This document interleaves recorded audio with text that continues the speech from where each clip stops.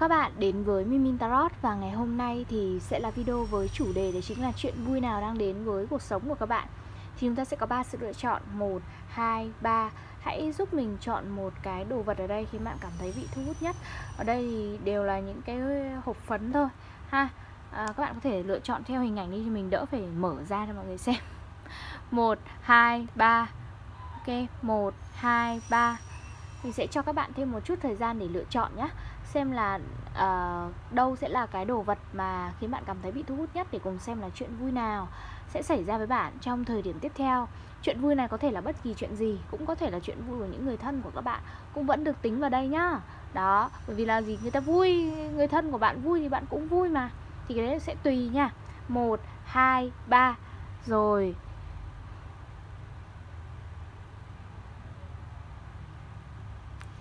Ok, và ngay bây giờ chúng ta sẽ đến với số 1 ạ. Xin chào các bạn, đến với tụ bài đầu tiên và đây là trải bài chung. Chính vì vậy đón nhận thông điệp này của mình một cách thật là cởi mở nhất. Với câu hỏi đấy chính là chuyện vui nào đang đến với cuộc sống của các bạn. Thì mình thấy rằng là trước khi cái chuyện vui này xảy ra thì có thể đã có một vài cái chuyện mà nó không hay, không vui Nó đã xảy ra với các bạn. Thì mình sẽ mô tả về cái chuyện không vui này trước. Chuyện không vui này thì có thể là chuyện này đã xảy ra rồi vừa mới xảy ra hoặc là có thể là gần tới đây sẽ xảy ra. Ok đầu tiên đây mình thấy rằng là sẽ có một cái chuyện gì đấy khá là bất ngờ xảy ra với cuộc sống của các bạn. Cái chuyện này thì mình không không quá rõ là nó liên quan cụ thể những cái vấn đề gì. Thế nhưng mà mình thấy nó có mang cái yếu tố giống như là thanh lọc cuộc sống của bạn ấy. Tức là cái gì nó tốt ấy, thì nó sẽ nó sẽ ở lại với bạn. Còn cái gì nó không tốt thì nó sẽ ra đi. Đó, bạn sẽ giống như là một cái người này này. Các bạn thấy là ở đây là những cái cái cây cái cây nó chỉ là hình tròn thôi, nó không có hình thù gì hết, đúng không? Thì uh, bạn sẽ là cái người cắt tỉa những cái cây này trở thành những cái hình thù đẹp như thế này. Nhưng các bạn biết là khi mà là cắt tỉa ấy, thì những cái phần thừa ấy, nó sẽ rơi xuống đất đúng không? Thì hãy hiểu rằng là cái chuyện cái chuyện đột ngột đấy nó xảy ra ấy, nó giống như cái việc bạn đang cầm một cái kéo và cắt đi những phần thừa trong cuộc sống của chính mình, đang cắt đi những cái người hoặc là những cái tình huống hoặc là những cái cái gì đó. Nó không phù hợp với hành trình của các bạn nữa để bạn làm cho cuộc sống của mình trở nên tốt đẹp hơn mà thôi.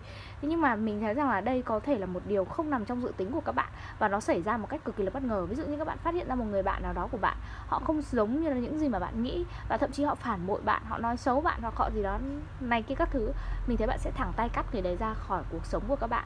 Và cho dù ấy bạn làm điều đó để tốt cho cuộc sống của các bạn nhưng chắc chắn là bạn cũng sẽ buồn bạn cũng sẽ suy nghĩ rất là nhiều. Thế nhưng mà hãy hiểu rằng đây là một món quà ở hidden gift tức là một món quà được ẩn giấu đằng sau một nỗi buồn được ẩn giấu đằng sau một sự kết thúc rằng là à sẽ có cái khởi đầu mới nó tới. Hoặc là cái sự kết thúc này á hoặc là cái cái cái, cái sự đột ngột này này nó liên quan đến việc là bạn phát hiện ra một ai đấy mà bạn dành tình cảm chẳng hạn. Bạn yêu họ hay là này kia, hoặc bạn đang yêu họ nhưng mà bạn phát hiện ra là cái người này họ không như là bạn nghĩ và có thể rất là tệ chẳng hạn. Đó, thì mình thấy rằng là bạn cũng sẽ rất là buồn khi mà nhìn nhận, nhìn thấy cái sự vật, sự việc này. Nhưng mà bạn, mình thấy là bạn rất là quyết liệt trong việc bạn cắt bỏ đi những cái phần thừa để bạn tạo lên cuộc sống của bạn ấy trở nên tốt đẹp hơn. Thì ở đây chúng ta có you know what to do thì mình thấy rằng là bạn hoàn toàn biết là mình cần phải làm gì và bạn làm chủ cuộc sống của bạn rất là tốt. Mình thấy rằng là thiếu những điều này bạn sẽ vẫn sống tốt, chỉ có điều bạn sẽ buồn thôi.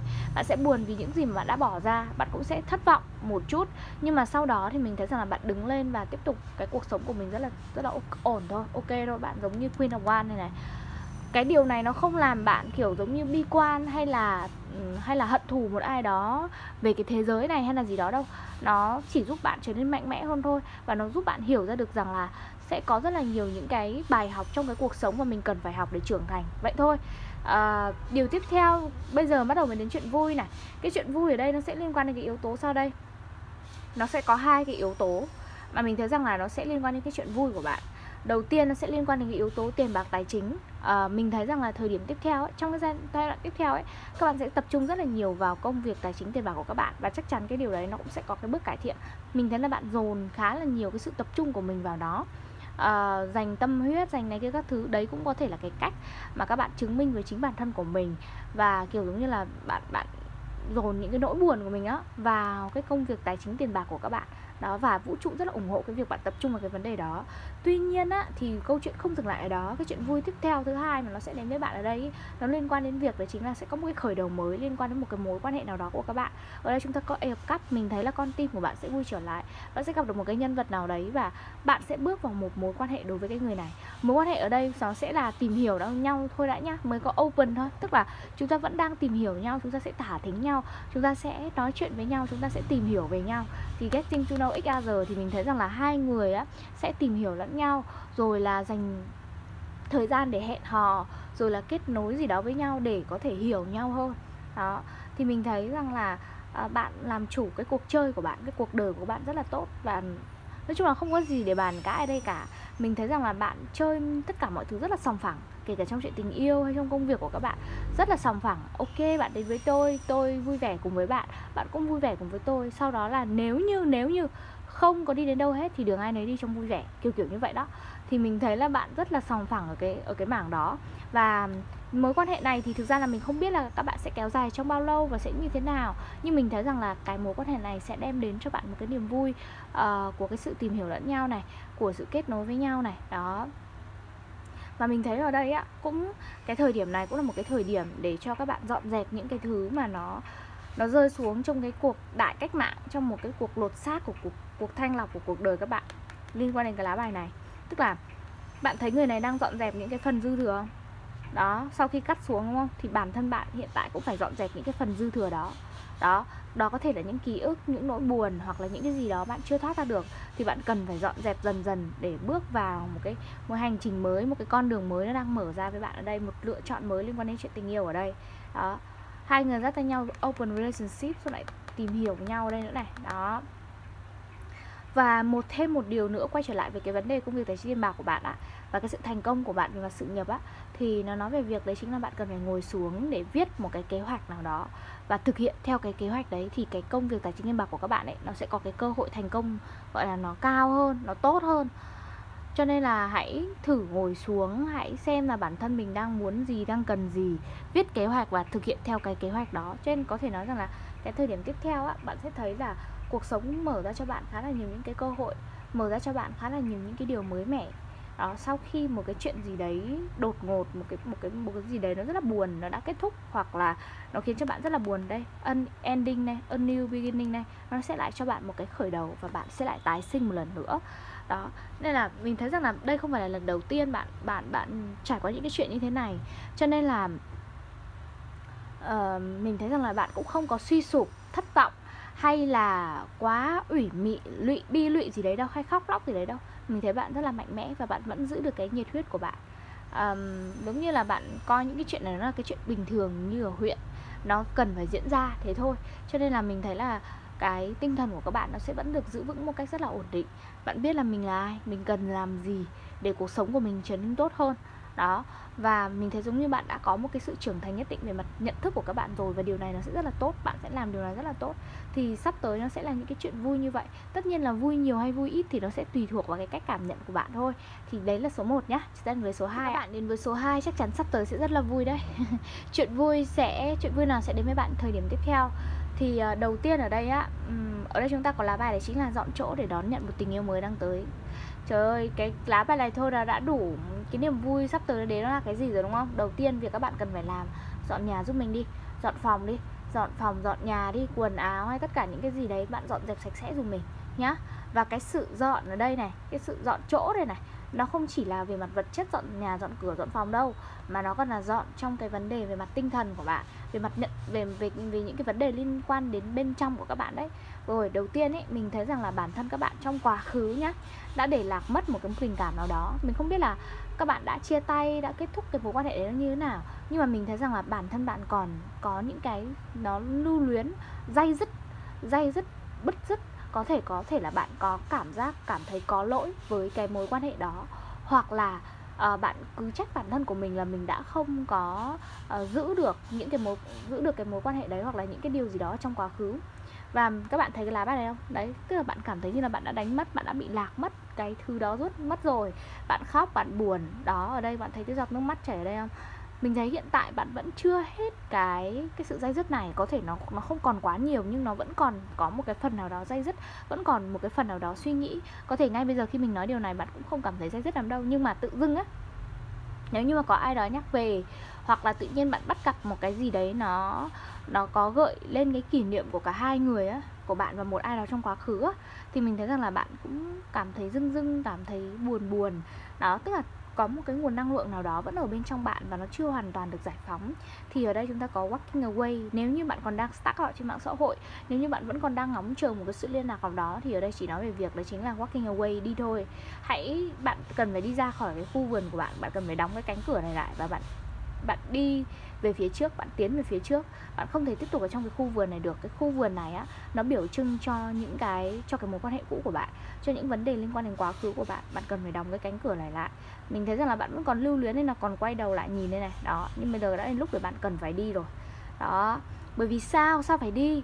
Sắp tới đây cái chuyện vui này nó sẽ tới, và chuyện vui này chính là chuyện tình yêu của các bạn. Mình thấy sẽ có một cái nhân vật trời ơi, nó Trời phải nói rằng là cái người này rất là đẹp nhá. Họ đẹp từ bên trong lẫn bên ngoài luôn. À, Giới tính thì mình sẽ không quy định nhá Bởi vì có rất là nhiều bạn sẽ xem cái video này của mình. Không không cần biết là giới tính gì Nhưng mình sẽ mô tả một người này. Người này rất là đẹp. Họ đẹp từ bên trong ra bên ngoài á. Thứ nhất là nếu như họ là nam ấy, thì phải cực kỳ là soái ca Cực kỳ là đẹp. Bạn nhìn phát là bạn mê rồi. Đó họ không nhất thiết là phải đẹp trai như kiểu Hàn Quốc hay là những diễn viên ca sĩ gì đâu. Nhưng mà họ có một cái vẻ đẹp của họ nó toát ra bên ngoài và nó cực kỳ là thu hút người khác. Cái người này là một cái người mà biết lắng nghe cảm xúc của người khác và họ là một cái bậc thầy về mặt vật mặt gọi là mặt tình cảm bậc bậc thầy về mặt tâm lý đó nên là họ cực kỳ là tâm lý. Thì mình thấy rằng là cái người này sẽ tới với bạn. Và bạn biết không cái điều này nghe nó hơi nó hơi um, buồn cười một tí. Nhưng mà mình nói thật là khi bạn gặp họ một cái là bạn không còn nhớ gì về người cũ nữa. Đó đến mức độ như vậy để cho các bạn có thể hiểu rằng là à sắp tới đây một cực phẩm này đang tới với mình rồi. Bạn sẽ không còn nhớ gì đến người cũ nữa và mình thấy là bạn sẽ chỉ vui vẻ ăn mừng cùng với cái người này thôi. Đó thấy không? Đó thì mình thấy rằng là um, cái người này là soulmate của bạn nha. Cái người này là soulmate của bạn cho nên là cái người này sẽ cực kỳ là thấu hiểu bạn cực kỳ là tâm lý với bạn. Bạn cảm thấy giống như là, giống như là bấy lâu nay tất cả những cái tổn thương mà mình đã chịu đựng, kiểu giống như bạn sẽ thể là, bạn sẽ hiểu là, ủa, tại sao trước kia mình lại phải chịu đựng những cái tổn thương đấy nhở? Trong khi cái người này họ họ trân trọng mình, họ quý mến mình, họ giống như là họ dành tình cảm với mình, họ chiều chuộng mình đến mức độ như vậy. Kiểu giống như bạn cảm thấy, ủa, trước kia đúng là kiểu mình đã đã đã đã đã không nhìn thấy rằng là bản thân mình hoàn toàn có thể gặp được một người uh, yêu thương mình đến mức độ như thế này thì người này là soulmate của bạn. Họ sẽ rất là tâm lý cực kỳ này cực kỳ tâm lý luôn cực kỳ tâm lý với bạn luôn. Và họ sẽ làm có thể là những cái hành động lãng mạn hay là gì đó và mình thấy là bạn vui lắm. Bạn vui cực kỳ vui đối với cái người này á và mình cũng nói luôn này những cái mối quan hệ trước của bạn ấy chưa làm được điều gì cái mối quan hệ này sẽ làm những điều đó. Có nghĩa là bạn mơ ước một mối quan hệ mà được yêu thương chiều chuộng hoặc là được giống như là được cái sự trân trọng ấy những mối quan hệ trước của bạn không có. Uh, những thứ giống như là có thể những mối quan hệ trước của các bạn cũng uh, không có nhiều trải nghiệm kiểu như vậy. Hoặc là cũng có đi chăng nữa thì mình thấy rằng là nó không bằng được cái người mới sắp tới này đâu đó và đây chúng ta có lá đờ săn này thì bạn thấy rằng là mọi thứ nó sẽ rất là tốt đẹp vào cái thời điểm tiếp theo và mình thấy là bạn vui lắm. Bạn chẳng nhớ gì về quá khứ nữa đâu. Đó cho nên là nhưng mà mình cái mà mình vẫn cần phải nói ở đây ấy, là những vấn đề liên quan đến quá khứ đặc biệt là những tổn thương những suy nghĩ dây dứt ấy bạn cần phải giải phóng đi bạn cần phải buông hết đi.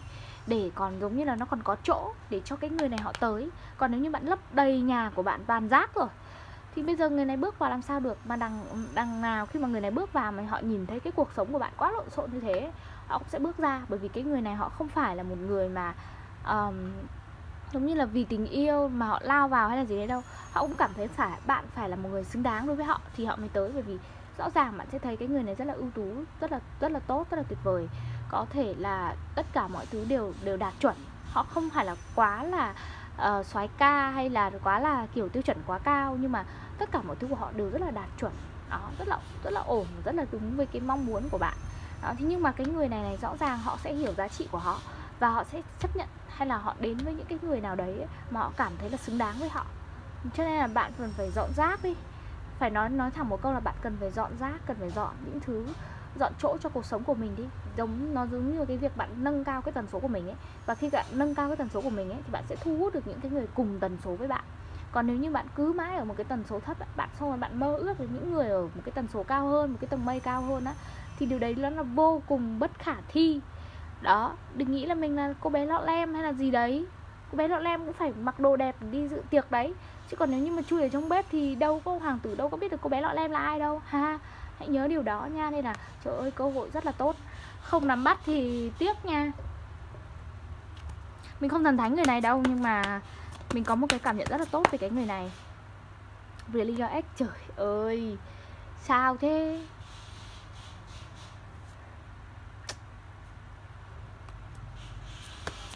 Đấy việc cần làm đấy là gì? Giải phóng những vấn đề liên quan đến người yêu cũ nha.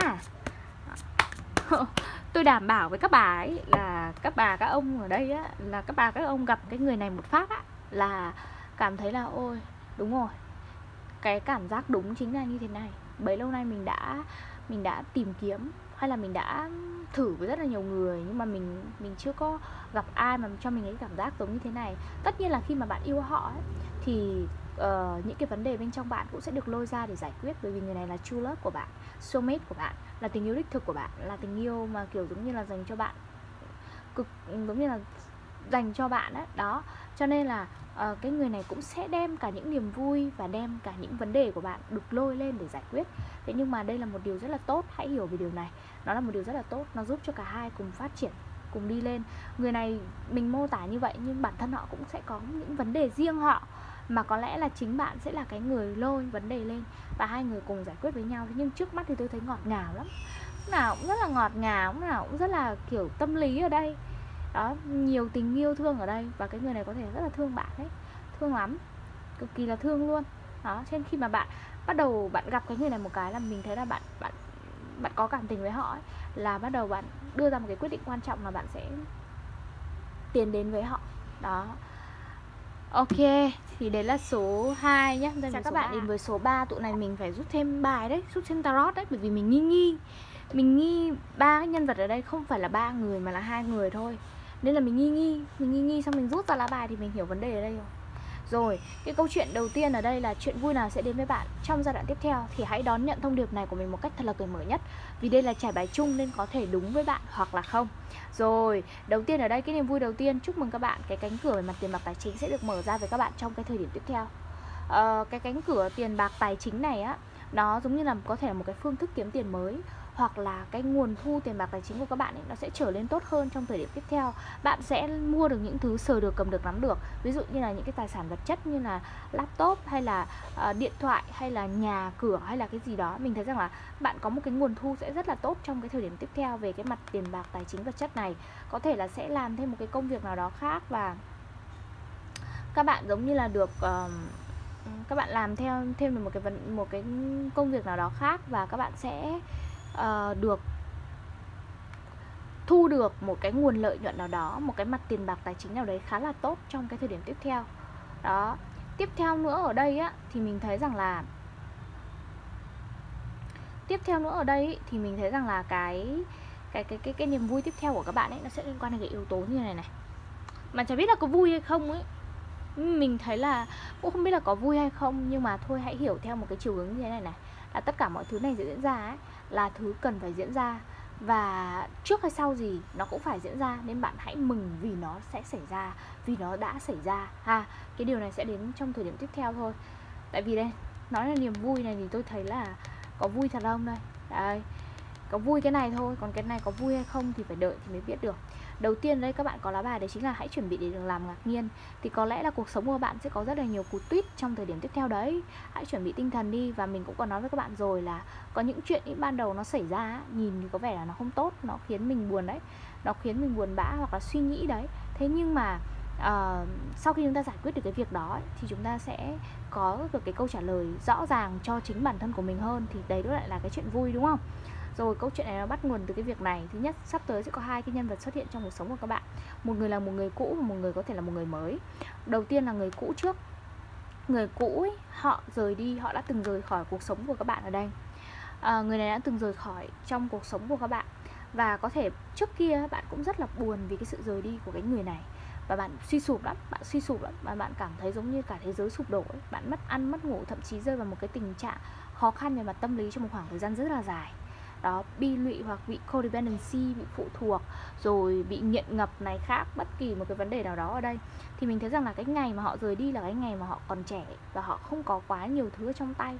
Đồng thời cái suy nghĩ của họ cũng thiếu cái sự trưởng thành, cho nên là họ cảm thấy rằng họ không thể giữ được cái mối quan hệ này. Vì thế họ đã chọn dừng lại.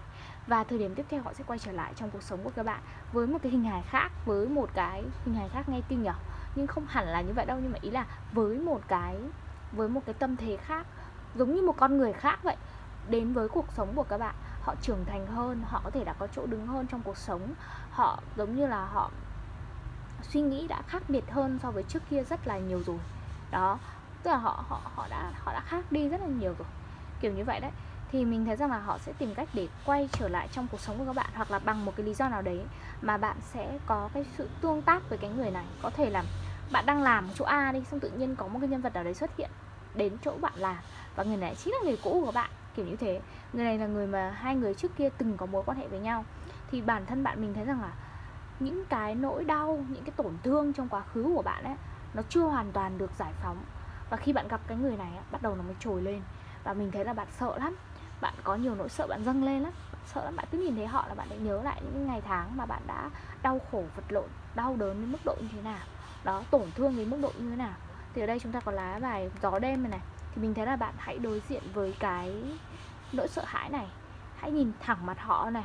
Hãy nhìn thẳng mặt họ này hãy nhìn vào cái nỗi sợ hãi này này để vượt qua nó.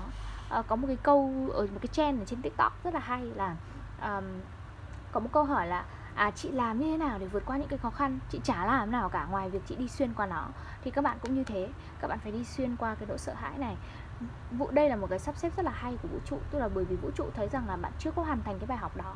Nỗi sợ vẫn còn tồn tại bên trong bạn. Bây giờ bạn có thể bạn thấy rằng là ở mình đâu có sợ hãi gì đâu mình cũng thấy bình thường mà. Bạn nghĩ như vậy đúng không? Nhưng cái ngày mà bạn sẽ gặp lại họ ấy, là cái ngày mà nỗi sợ hãi đấy nó sẽ trồi lên và bạn mới thấy rằng là à bấy lâu nay mình tưởng rằng là mọi thứ đã xong rồi nó đã đăn rồi. Nhưng mà hóa ra là nó chưa thực sự đăn nó vẫn còn những cái uh, nỗi sợ đó nó vẫn còn những cái ám ảnh tâm lý đó mà mình cần phải nhìn nhận để giải quyết ở đây. Đó cho nên là uh, cái này cũng sẽ là một niềm vui đối với các bạn để bạn có thể thẳng mặt nhìn vào cái nỗi sợ hãi này. Đó để các bạn có thể giải quyết nó. Ở đây chúng ta có lá drop it các bạn thấy không? Uh, bạn nhìn thấy họ bạn giống như là nó sẽ là một cái cuộc đấu tranh để cho các bạn giống như là buông bỏ được những thứ nó không phù hợp với mình nữa. Tức là bạn bạn buông bỏ những cái nỗi sợ hãi của mình bạn giống như là cái cái cái cái khinh khí cầu này cái cuộc sống của bạn giống như một cái khinh khí cầu nhá. Thì bây giờ bạn đeo quá nhiều những nỗi sợ hãi cái khinh khí cầu của bạn nó không bay lên được. Đó cũng có thể là lý do bạn tổn thương bấy lâu nay mà bạn không có yêu ai bạn cũng không dám yêu ai hoặc khi mà bạn gặp bạn yêu những người khác ấy bạn luôn cảm thấy sợ hãi và luôn cảm hoặc là nó trục chặt với một cái lý do nào đó là bởi vì cái tổn thương ban đầu á, nó chưa được hoàn toàn chữa lành nó chưa được hoàn toàn lôi ra để giải quyết triệt để cho nên ý, đây là một cơ hội để giúp bạn buông bỏ những cái bao cát này xuống. Và bao cát này chính là những nỗi sợ hãi là những ký ức không vui của bạn là những thứ thiệt thòi mà các bạn đã phải chịu đựng. Đó bây giờ các bạn phải tự tin và mạnh mẽ lên rằng là gì? Bây giờ bạn đã khác bạn đã phát triển hơn bạn đã mạnh mẽ hơn. Và bây giờ bạn không cho phép bất kỳ ai có thể có thể làm tổn thương mình hoặc là uh, gây hại gì đến bản thân của mình nữa. Vì bây giờ mình đã khác rồi mình đã phát triển rồi.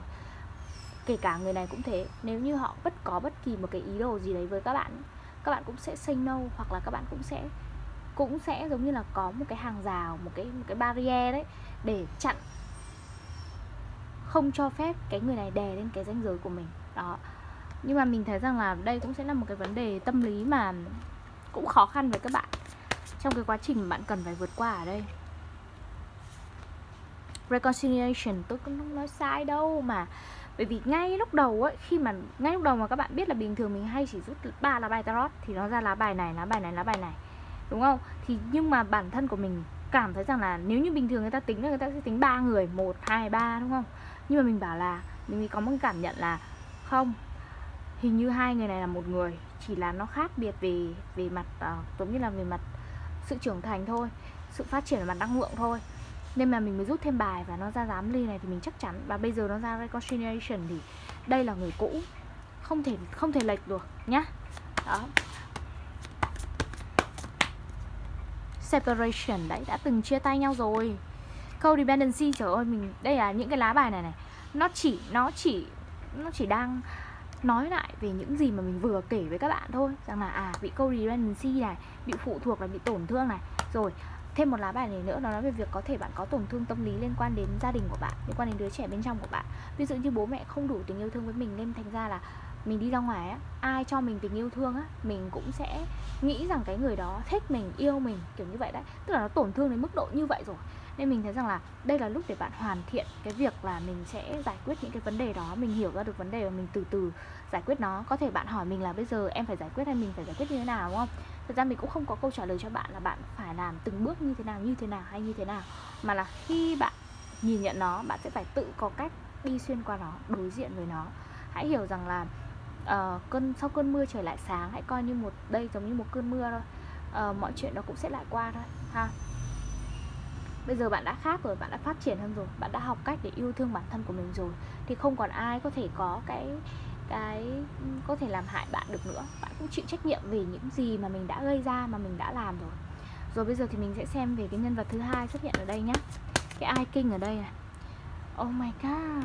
Từ từ từ từ từ từ từ từ free yourself đầu tiên là phải giải phóng bản thân của mình trước nha cái ai king này này, mình cảm nhận được rằng là, ôi, bạn có một cái tổn thương rất là, rất rất là mạnh mẽ liên quan đến đứa trẻ bên trong nhá.